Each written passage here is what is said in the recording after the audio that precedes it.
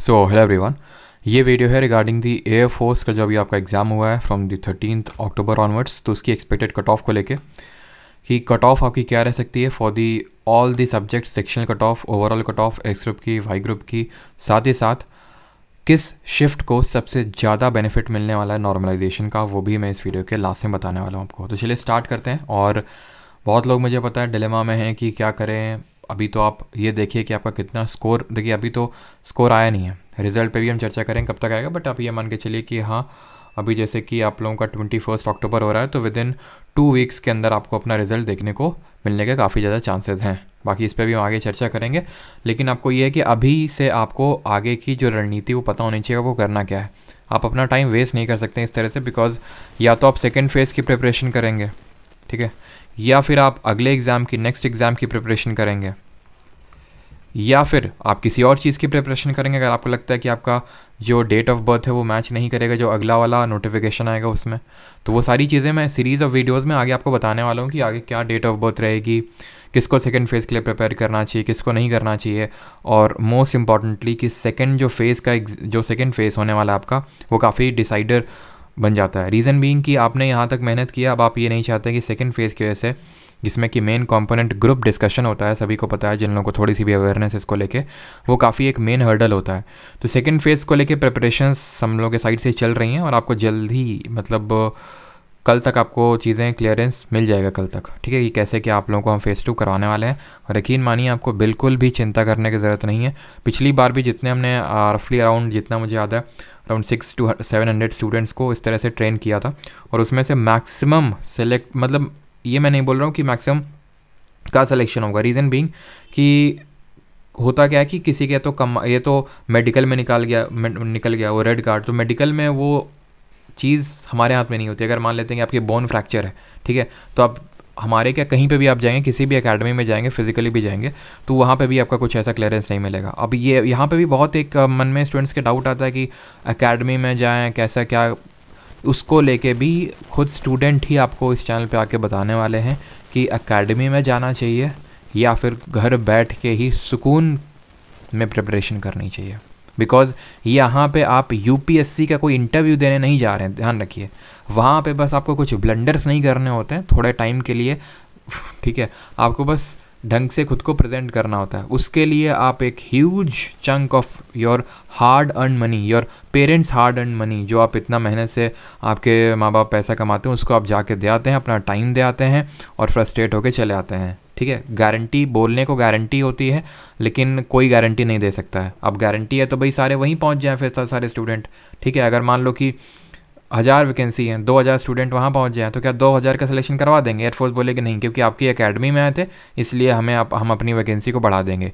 ये सिर्फ़ स्टूडेंट्स को अट्रैक्ट करने के गिमिक्स होते हैं कि भाई स्टूडेंट्स ज़्यादा से ज़्यादा आ जाएँ, लेकिन गारंटी नहीं at the end of the day आपको ही मेहनत करनी है, चाहे आप कहीं रहें, घर में या फिर किसी अकेडमी में रहें। वहाँ सिलेक्शन हो, चाहे यहाँ, वहाँ से होगा सिलेक्शन तो अकेडमी वाले आप पे ठप्पा लगा देंगे हमारे वजह सिलेक्शन हुआ। चाहे आपका फ़ेज़ वन रिटर्न क्लियर होगा या फिर कुछ भी होगा, वो आपकी उसमें मेहनत है। टीचर का सिर्फ़ एड होता है।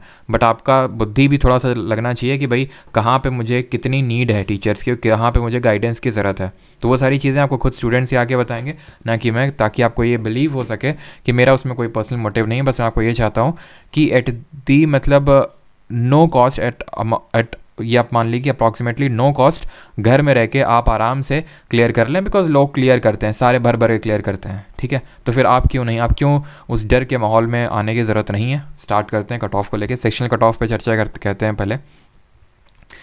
तो सब्जेक्ट्स होते हैं यहाँ पे आपके, मुझे पता है इस चैनल पे आपको वाई ग्रुप यानी कि इंग्लिश और रागा की प्रिपरेशन करवाई गई थी फिजिक्स मैथ एक्स ग्रुप की नहीं करवाई गई थी। तो बट फिर भी मैं आपको बताता हूँ फिजिक्स मैथ इन सब का क्या सेक्शनल कट ऑफ़ रहने वाला है, ठीक है?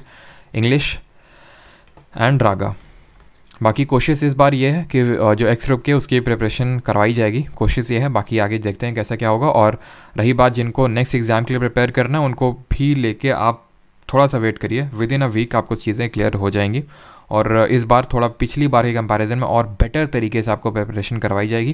बिकॉज़ आपने देखा है कि लास्ट में सिर्फ़ एक वीक सिर्फ़ वो जो वन शॉट वीडियोज़ ने जब इतना कमाल दिखा दिया, सिर्फ़ एक हफ़्ता सिर्फ़ एक हफ़्ता। नॉन वर्बल का सिर्फ़ एक वीडियो डाला था। कोई एक एक शिफ्ट नहीं बोल सकता, कोई एक शिफ्ट नहीं बोल सकता कि इसमें उस वीडियो से, सिर्फ़ एक वीडियो की बात कर रहा हूँ मैं, उस वीडियो से क्वेश्चन नहीं, ना आए हूँ। ठीक है? तो आप समझ सकते हैं कि अगर अभी से चीज़ें हम लोग स्टार्ट करेंगे तो फिर क्या इम्पैक्ट क्रिएट होगा। ठीक? Physics, maths, English RAGA. तो फिजिक्स की अगर बात करें तो section cut off around seven के समथिंग रहेगा, जो कि पिछली बार भी था। मैथ्स का थोड़ा सा मुझे लग रहा है जो पिछले बार सेवन था, वो सेवन पॉइंट फाइव होने की उम्मीद है, थोड़ा सा क्योंकि ईजियर साइड में था, ठीक है? और पॉइंट फाइव जो इंक्रीज होता है, इससे काफ़ी सारे स्टूडेंट जो है, वो आउट हो जाते हैं। मतलब वो पॉइंट फाइव बहुत बड़ा नंबर होता है, अगर हम देखें, जब एग्ज़ाम की बात करें तो। इंग्लिश में अगर बात करें तो रफली मुझे लगता है कि इंग्लिश भी रिलेटिवली आसान थी, ठीक है? पिछली बार भी आसानी थी रागा के कंपैरिजन में, या फिर अदर सब्जेक्ट बट फिर भी इस बार थोड़ा सा और आसान मुझे लगी पिछली बार कंपैरिजन में। हो सकता है कि नंबर ऑफ़ जो स्टूडेंट्स हैं, वो कम हो, इस वजह से ऐसा किया गया बट जो मुझे लगा कि 8.5 और हाँ मेरे पास अभी क्योंकि ये जो कट ऑफ़ का है डेटा भी मैं आपको ओवरऑल कट ऑफ़ भी बताऊँगा तो ये किस बेसिस पे लिया गया, वो भी अभी बताऊँगा बिकॉज़ मैक्सिमम लोग जानते होंगे टेलीग्राम पे परमार डिफेंस टेलीग्राम पे आपको एक सर्वे फॉर्म फिल करने के लिए दिया गया था, जहाँ पे आप में से रफली 2000 लोगों ने अभी तो नहीं, लेकिन हाँ सर्वे हमने आई थिंक सिर्फ़ मैक्सिमम एक दिन एक दिन से ज़्यादा उसको नहीं चलाया था और एक दिन से कमी था आई थिंक बीस घंटे ऐसे और बीस घंटे में 2000 लगभग 2000 स्टूडेंट्स ने अपने रिस्पॉन्सेज फिल फिलअप किए थे, ठीक है? तो उन 2000 स्टूडेंट्स के डेटा के बेसिस बता रहा हूँ और डेटा भी मैं अभी आप नहीं होगा तो आपको दिखा दूँगा। ठीक है, कि क्या क्या डेटा हम लोगों ने कलेक्ट किया था और क्या सारी चीज़ें रही थी। रागा की अगर बात करें तो रागा में जो मुझे लगता है वो अप्रॉक्सीमेटली फिफ्टीन ठीक है, और वाई ग्रुप की यानी कि नॉन साइंस जो बैकग्राउंड स्टूडेंट्स हैं, जानते हैं कि RAGA was relatively on tougher side as compare to English तो यहाँ पे आप अपनी स्क्रीन पे देख पा रहे हो, ये जो डेटा हम लोगों ने कलेक्ट किया था रफली जैसे होता है दो से तीन हज़ार के बीच में स्टूडेंट थे। अभी मैंने चेक किया तो दो से तीन हज़ार स्टूडेंट्स के बीच में थे जिनका डेटा है, रागा में कितने क्वेश्चन अटैम्प्ट हुए और इंग्लिश में। ठीक है? इसी तरह से था। इसमें और भी आगे दो सेक्शंस थे तो यहाँ पे आप देख सकते हैं, आपके सामने सारा डेटा ट्रांसपेरेंसी के सामने मैं रख रहा हूँ, जो डेटा कलेक्ट हुआ।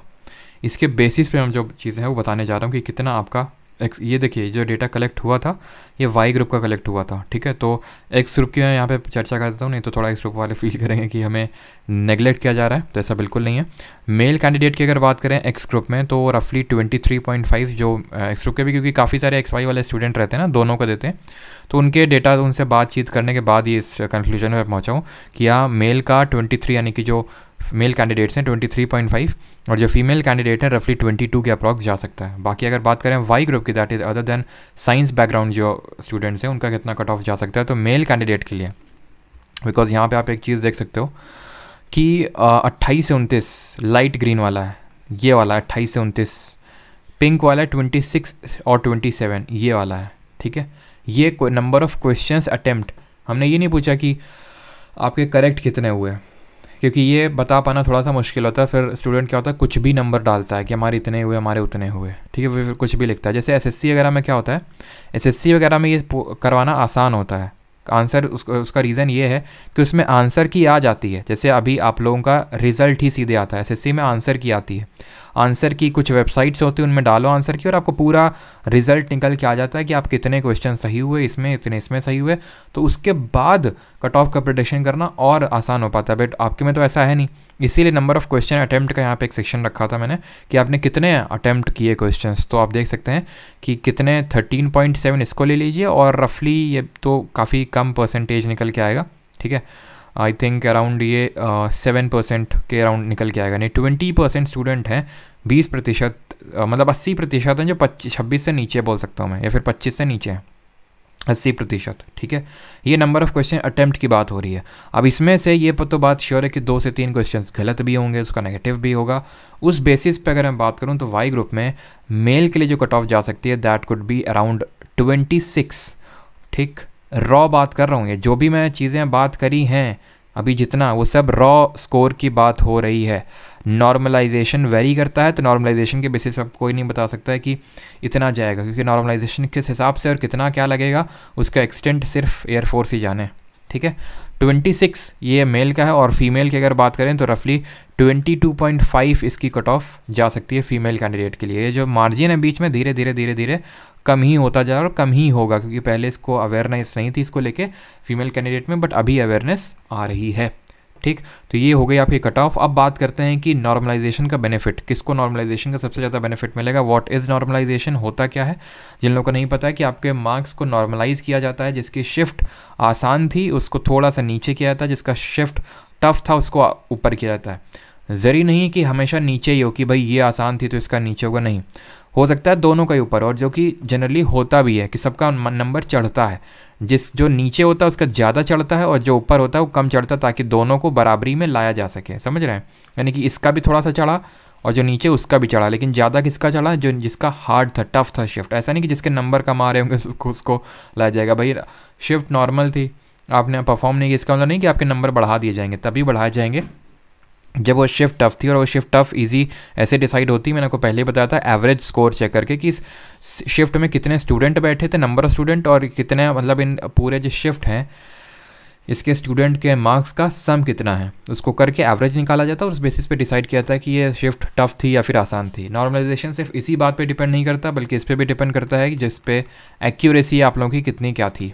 ठीक है एक्यूरेसी कितनी थी? और ये सारे फैक्टर्स मैंने डिस्कस किए थे। जब विजय पद बैच की मैंने लास्ट क्लास ली थी तो आई होप वो स्टूडेंट्स इस मिस्टेक को नहीं करके आ रहे करके आए होंगे और अपनी एक्यूरेसी को थोड़ा ठीक ठाक मेंटेन किया होगा। तो इसके बेसिस पे आपके मार्क्स जो हैं बढ़ेंगे। किसके सबसे ज़्यादा बढ़ेंगे? नॉर्मलाइजेशन का बेनिफिट मेरे अकॉर्डिंग ये मैं बात कर रहा हूँ वाई ग्रुप के वाई ग्रुप की। एक्स ग्रुप का, क्योंकि जैसे मैंने बोला, मैं बताने के तो बता सकता हूँ, लेकिन वो कुछ स्टूडेंट से बात करने के बेसिस पे होगा। और वो मैं नहीं चाहता हूँ फालतू में कुछ स्टूडेंट के बात करने बेसिस पे यहाँ पे मैं कुछ बोल दूँ और वो एक्चुअल में रियलिटी ना हो, ठीक है?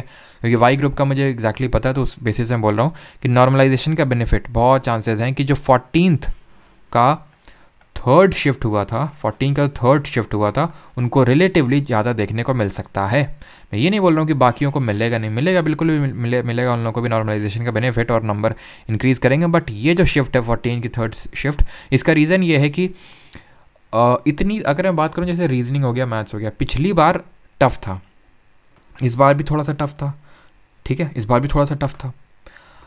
अब मैं अपने स्टूडेंट की अगर बात करूँ तो जैसे कि पिछले एग्ज़ाम के बेसिस पे मैंने इस बार वन शॉट पहले भी वन शॉट दिए थे, इस बार भी जैसे मैंने वन शॉट दिए सबके वर्बल और काफ़ी डायरेक्टली क्वेश्चन ट्राई किए ठीक है? जीके के भी करते हैं, लेकिन ये जो ऐसी शिफ्ट थी, जिसमें कि थोड़ा सा स्टूडेंट स्ट्रगल किए रागा में, थोड़े से स्टूडेंट स्ट्रगल किए रागा में उस बेसिस पर ये ऐसा नहीं कि मैंने बस इस बेसिस बोल दिया, ये तो एक सैंपल मैंने आपको दिखाया यहाँ पे। पूरी पीडीएफ है मेरे पास स्टूडेंट की। एक एक स्टूडेंट का ने देखा अच्छा फोर्टीन की फ़र्स्ट शिफ्ट में इतना कर रहे हैं थर्टीन में इतना कर रहे हैं फिफ्टीन में इतना कर रहे हैं। उस बेसिस पे मैंने सारी चीज़ें ये बता रहा हूँ कि फोर्टीन की थर्ड शिफ्ट में जो एवरेज स्कोर मैंने नोटिस किया, उसमें मैंने पूरा कंप्यूटर पर एक्सेल शीट बना के एवरेज निकाला कि अच्छा तेरह वालों का फ़र्स्ट का एवरेज इतना है, दूसरा का एवरेज इतना तीसरा का एवरेज इतना है। ठीक है, जैसे एयरफोर्स काम करता होगा सी डैक उसी लेवल पे मैंने यहाँ पे काम किया कि इसमें इतना इतना एवरेज है। और उस बेसिस पे मैं कंक्लूजन पहुँचा कि फोर्टीन के थर्ड शिफ्ट वालों को रिलेटिवली ज़्यादा बेनिफिट देखने को मिल सकता है नॉर्मलाइजेशन का। ठीक? और अब बात कर लेते हैं कि आगे आप लोगों को क्या करना है, ठीक है? तो इस पर नहीं होगा तो अगले वीडियो में बात कर लेंगे। रिगार्डिंग अगला वीडियो आपको फ़ेज़ टू के संबंधित मिलेगा, या फिर मैं बोल सकता हूँ अगला वीडियो आपको मिलेगा कि आगे करना क्या है। देखिए, स्पष्ट बात करूँगा और मैं इस तरह से बात नहीं करूँगा। आपसे कोई भी चीज़ अगर मैं आपको एडवाइस करता हूँ तो नॉट विद कि इसमें मेरा कोई पर्सनल बेनिफिट हो जाए।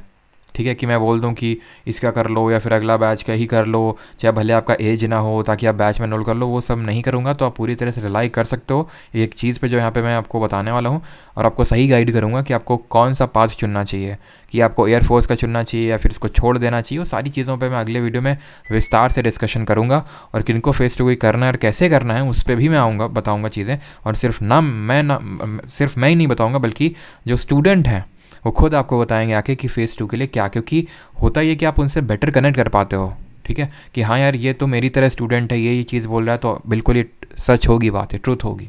ठीक है? तो मैं मेल और फीमेल दोनों कैंडिडेट को इस प्लेटफॉर्म पे लाना चाहूँगा ताकि वो, क्योंकि काफ़ी सारे स्टूडेंट हैं जो मेरे पीएसएल का वेट वगैरह कर रहे हैं, उनके मतलब किसी के 53 किसी के 54 मार्क्स हैं सर आगे बता रहा हूँ, पचास में से नॉर्मलाइजेशन के बाद। वो मतलब टॉप रैंक सिक्योर करने वाले हैं। अभी रिज़ल्ट तो आने दीजिए। वो आपको आके कुछ चीज़ें बताना चाहते हैं गाइड करना चाहते हैं। तो उसको लेके यहाँ पे आपको सीरीज़ ऑफ़ वीडियोस देखने को मिलेंगी। आई होप कुछ आपको इससे हेल्प मिली होगी इस वीडियो से। और आप अपना जो अट नंबर ऑफ़ क्वेश्चन अटेम्प्टेड हैं या फिर आपको क्या लग रहा है कि आपके अकॉर्डिंग कट ऑफ़ क्या हो सकती है, वो आप कॉमेंट सेक्शन में ज़रूर ड्रॉप करिएगा। मिलते हैं अगले वीडियो में और जिन लोगों ने चैनल को सब्सक्राइब नहीं किया सब्सक्राइब कर लेंगे और वीडियो को लाइक कर देंगे। धन्यवाद।